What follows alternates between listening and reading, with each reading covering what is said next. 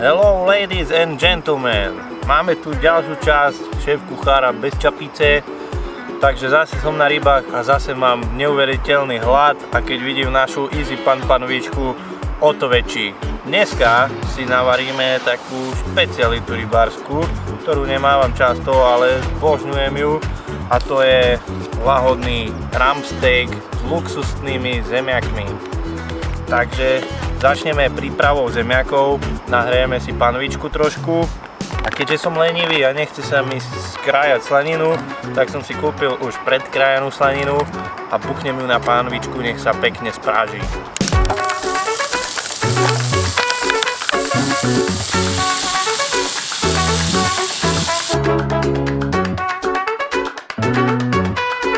Takže slaninka sa nám opiekla do zlatista,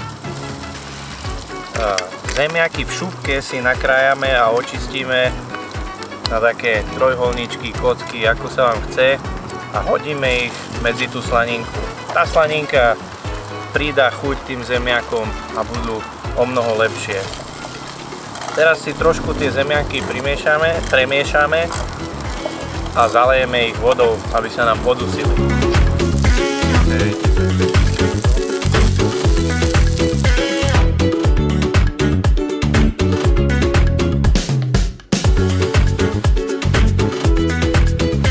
Zemiačiky sme zaliali vodou, trošku si ich ešte dosolíme podľa chuti.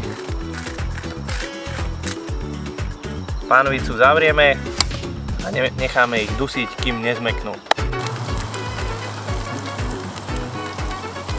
Hmm.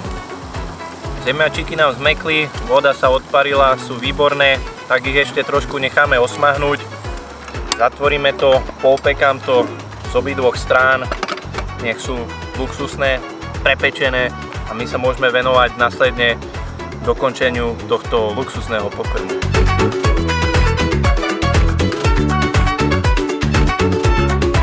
Zemiačky sú dopečené, sú výborné. Hmm.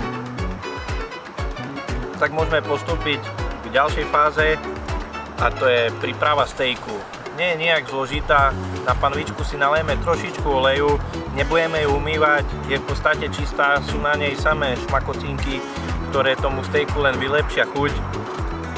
Zemiaky si zosypeme do osobitnej misky a môžeme sa pustiť do prípravy stejku.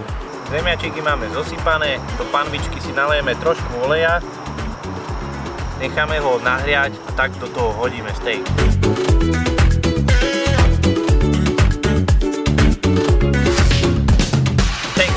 Na panvicu, pekne sa nám pečie, zavrieme panvičku, topnem si 4 minútky, mám rád tak viacej prepečený, následne ho pretočíme, nasolíme a za chvíľu budeme jesť.